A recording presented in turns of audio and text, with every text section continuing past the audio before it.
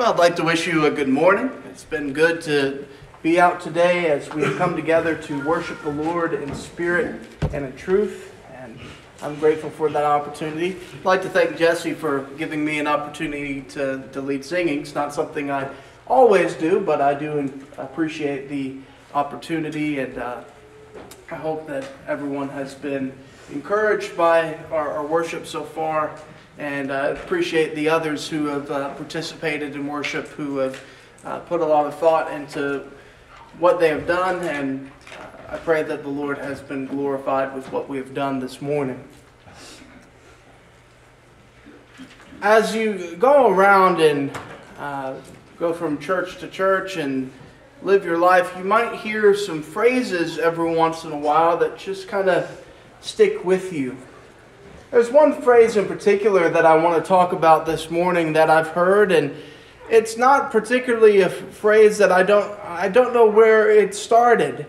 Uh, as far as I know, it's not a, a precisely a biblical phrase, although I think that it is biblically substantiated. It is a biblical idea, but not a phrase that comes from the Bible. And that phrase that I want to talk to you about this morning is the phrase Remember who you are.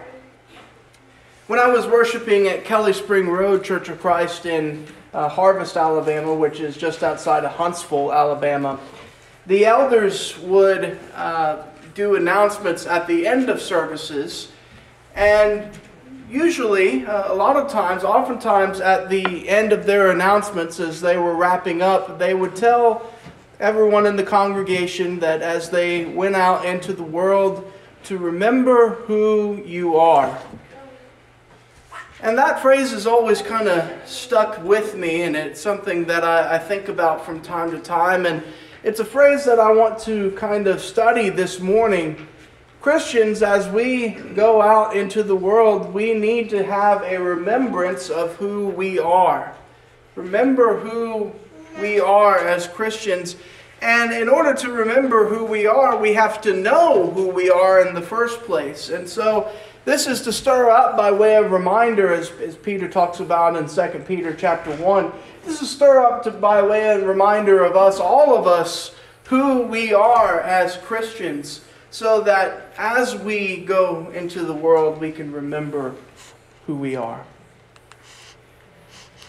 As Christians, we are made in the image of God. And this most of these are going to be true for only Christians, but some of them are also true for everyone. And that would be the case with this one. Every single person is made in the image of God.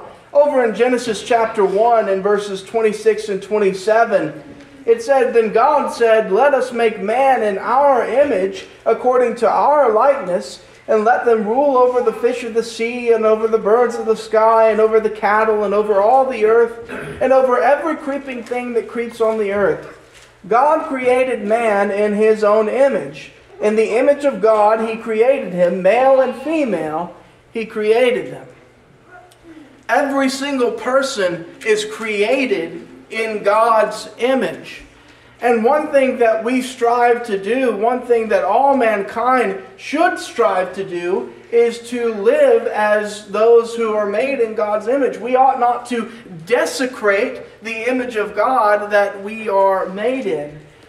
But we all have, we have all sinned and fallen short of the glory of God. But as, as we understand as Christians, we have been reborn. And, and one of the things that we strive to do as Christians is to honor that image of God that we are made in. And we are, are striving to, to live according to that image. Another thing we are is the object of God's love. And again, this is not just Christians, this is everyone. Turn over to John 3. John 3. I hope you have your Bibles open and, and turning. We're going to be turning to a lot of passages today. John chapter 3 and verse 16. For God so loved the world that he gave his only Son, that whoever believes in him shall not perish, but have eternal life. We sang a song a moment ago, He loves me, He gave Himself to die for me because He loves me so. Every single person, the whole world, God loves us. And he proved that by sending his only son. In Romans chapter 5, turn over to Romans chapter 5 and verse 8. It says, But God demonstrates his own love toward us in that while we were yet sinners, Christ died for us. Each and every one of us, every human being, is the object of God's love. God loves you. And you ought to remember that. And you ought to remember what he was willing to do because he loves you. And you ought to honor that. You're also a Christian. And in that name bears great responsibility. Turn over to Acts chapter 11.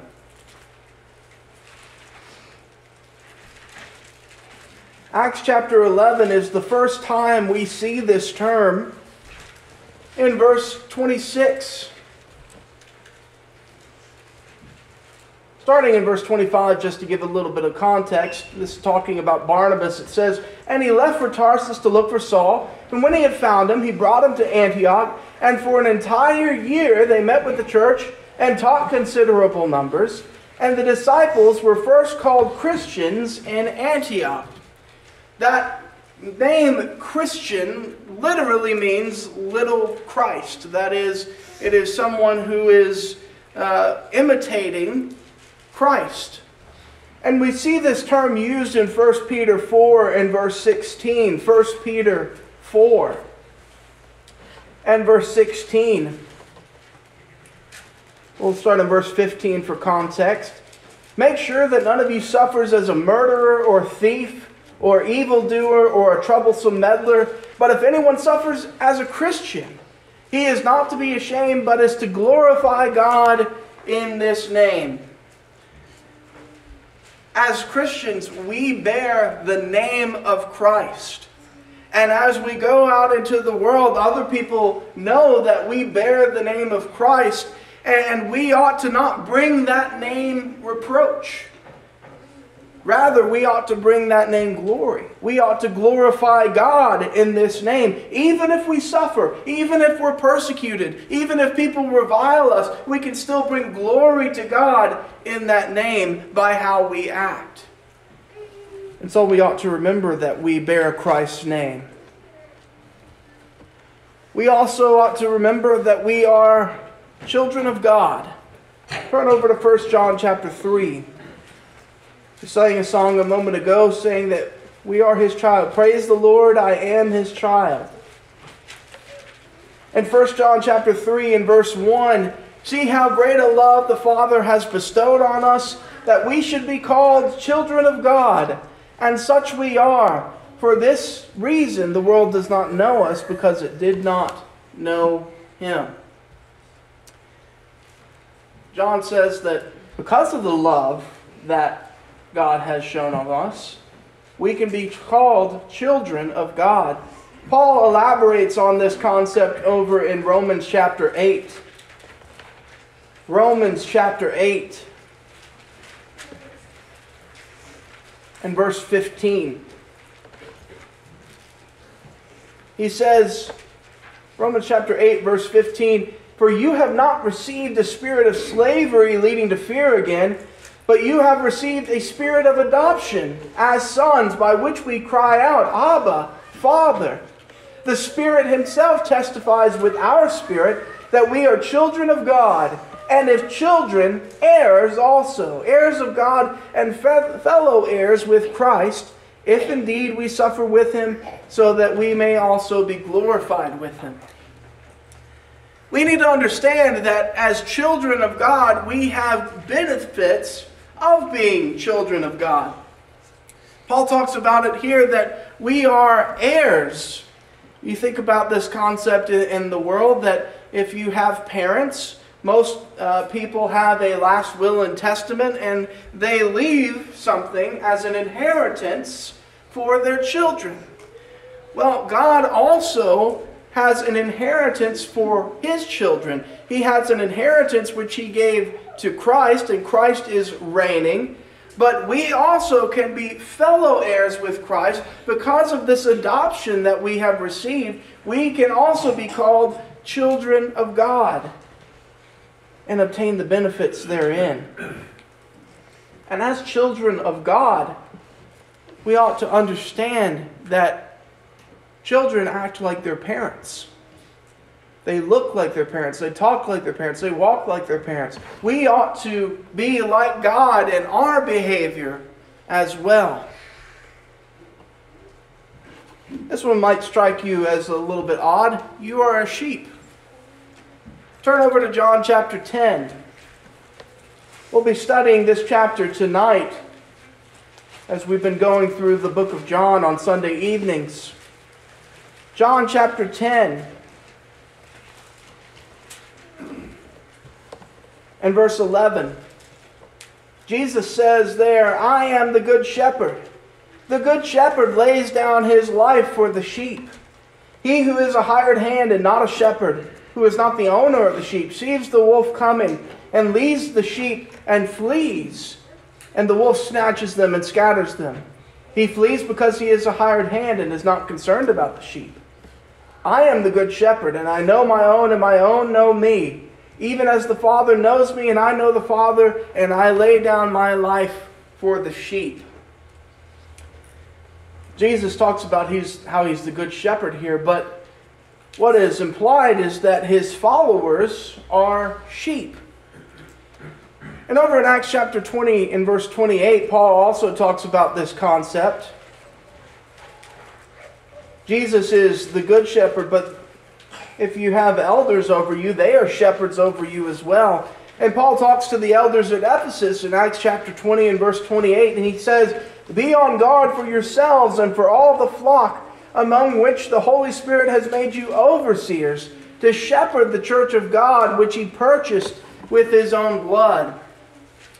The idea of being sheep is that we follow our shepherds as we have elders here at Spruce Pine, we ought to follow our shepherds, and also we ought to follow, most importantly, the Good Shepherd, Jesus, who laid down his life for the sheep.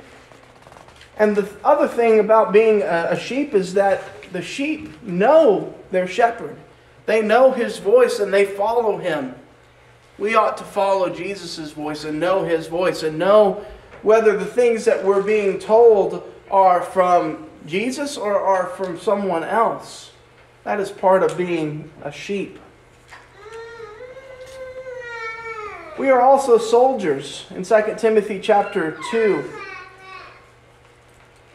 We sang just a moment ago, Soldiers of Christ Arise.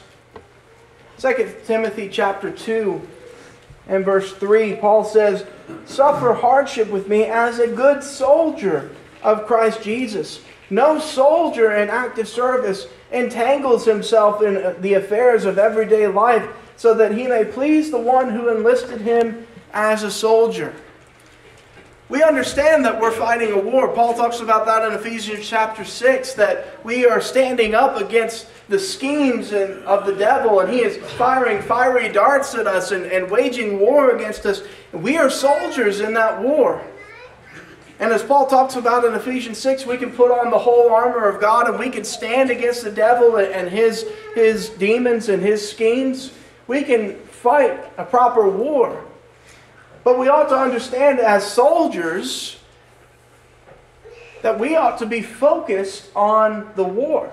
We ought to be focused on what our, our, great commander, Jesus Christ, is telling us what we ought to do. As Paul talks about here, being a good soldier of Jesus Christ means you don't entangle yourself in the affairs of everyday life. Rather, you're focused on winning the war. We ought to not become bogged down with the things that are, are of this world and of this life because we have something more important to do. You are also a slave of righteousness. Turn over to Romans chapter 6. Romans chapter 6 and verse 17. Paul says, But thanks be to God that though you were slaves of sin, you became obedient from the heart to that form of teaching to which you were committed. And having been freed from sin, you became slaves of righteousness. Perhaps we don't like to think of ourselves as slaves, but the Bible presents a picture that yes, we are slaves. We are slaves of righteousness if we are Christians, if we are truly doing what the Lord has commanded us, and we ought to remember that. You think about what a, a slave does, a slave is worried uh, about what his master tells him and, and not much else. Now we understand that as slaves of righteousness, we have liberty, we have freedom in that. But we ought not to forget to whom we serve, whom is, who is our master. It is Jesus Christ, and it is righteousness.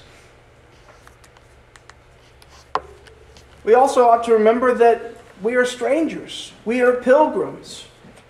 In Hebrews chapter 11, if you turn over there with me, Hebrews chapter 11. And verse 13. Hebrews 11, verse 13, talks about the heroes of faith, so to speak, that we read about in Hebrews chapter 11. Verse 13 All these died in faith without receiving the promises, but having seen them and having welcomed them from a distance, and having confessed that they were strangers and exiles on the earth. Peter talks about this concept over in 1 Peter. 1 Peter chapter 2 and verse 11. He says, Beloved, I urge you, as aliens and strangers, to abstain from fleshly lusts which wage war against the soul. Keep your behavior excellent among the Gentiles, so that in the thing in which they slander you as evildoers, they may, because of your good deeds as they observe them, glorify God in the day of visitation. Peter says, You are aliens, you are strangers. And what he means by that is we are not of this world. We are, are not supposed to, to be like the people of the world. Rather, we are strangers. We are pilgrims, as we sang about a moment ago. We don't live here, so to speak. This is not our home. And so we ought not to get too comfortable. We ought not to become like the people around us. Instead, we ought to be putting on the deeds of our Lord and Savior, Jesus Christ. And we ought to keep our behavior, behavior excellent while we are here in our pilgrimage. We are also members of the body of Christ. Turn with me over to 1 Corinthians chapter 12.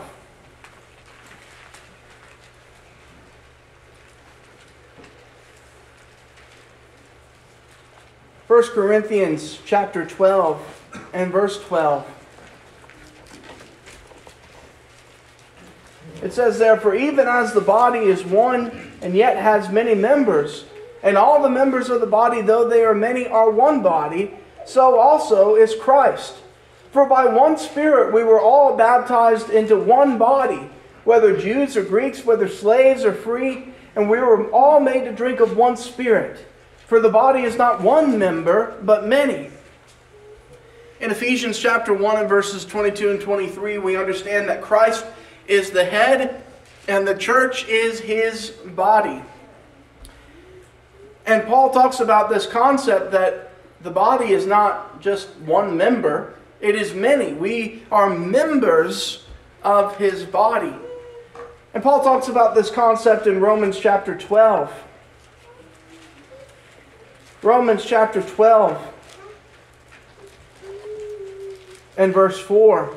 For just as we have many members in one body, and all the members do not have the same function, so we who are many are one body in Christ and individually members of one another. And what this means is that we ought to be functioning as a member of the body of Christ.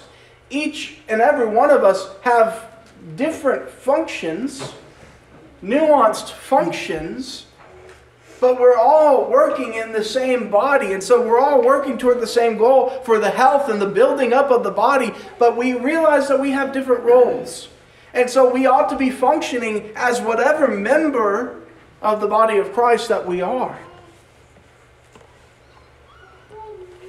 We also ought to remember that we are citizens of God's kingdom. And this plays to the point that I made just a moment ago. We're strangers here on earth. That's because we're citizens of the kingdom of God. Turn with me to Philippians chapter 3.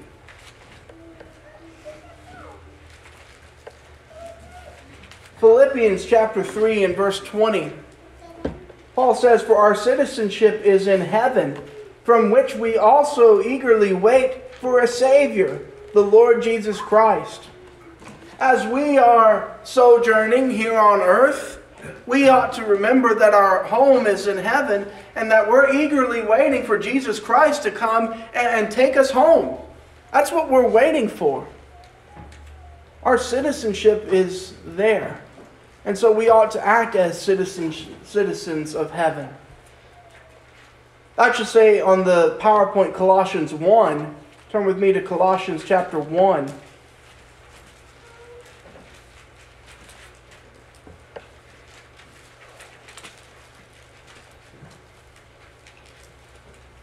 And in verse 13, it says, For he rescued us from the domain of darkness and transferred us to the kingdom of his beloved Son, in whom we have redemption, the forgiveness of sins. So we were once in the domain of darkness, but through Christ, through obeying the gospel, we have been transferred into the kingdom of Jesus. And that next verse leads me to my last point this morning. It says, In whom we have redemption, the forgiveness of sins. We are redeemed.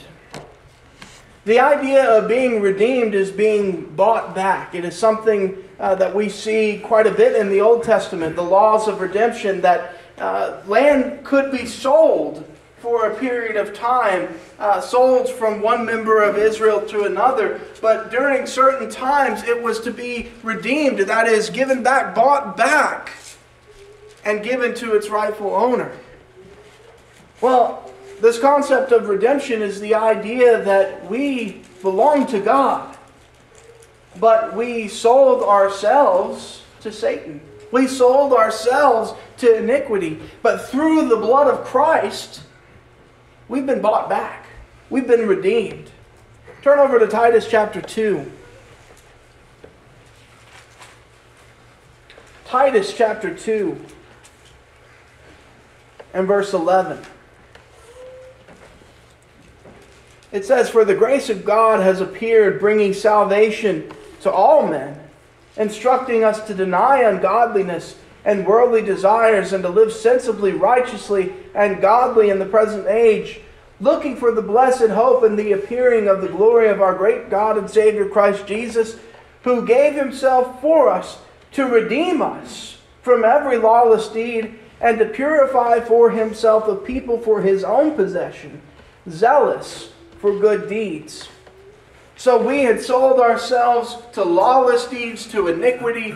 Jesus died so that he could redeem us, buy us back to good deeds.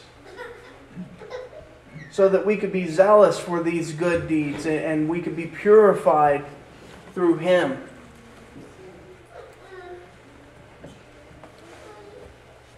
That's why we were redeemed so that we could live for Jesus, so that we would be possessed by Him as it was from the beginning. I want you to look at this list. Uh, it's not exhaustive. There are very many other things that we could add to this list this morning. And while it's not exhaustive, I feel like this is a good summation of what Christians are. We were made in the image of God, and God loved us. Of course, we sinned and fell short of God's glory, but God sent Jesus to die on the cross for our sins. He loved us so much that even while we were enemies, He died for us. And now, being having obeyed the gospel of Jesus Christ, we bear his name. We're Christians. We are children of God. We are his sheep. We are soldiers in the war. We are slaves of righteousness. We are strangers on this earth. We are members of the body of Christ. We are citizens in God's kingdom. We have been redeemed. One reason why I preach this sermon is because discouragement and apathy come from a lack of mind, mindfulness. If we find ourselves discouraged, if we find ourselves apathetic toward our lives as Christians, then we need to remember who we are. If we remember who we are, then we can take strength in that to do what is right. And so I hope that this has been an encouragement to do so this morning. It may be that you've never obeyed the gospel of Jesus Christ. If you haven't, you have an opportunity this morning. If you have obeyed the gospel of Jesus Christ and maybe you haven't been mindful of who you really are, then you'll have an opportunity in just a moment to, to come forward and make that right. And I would encourage you, as we're about to sing this invitation song, number 411, Redeemed, think about the words that we're about to sing redeemed by the blood of the Lamb, his child, and forever I am. Can you sing that honestly? or are those just words coming out of your mouth? If you have any need, won't you come while we stand and we sing?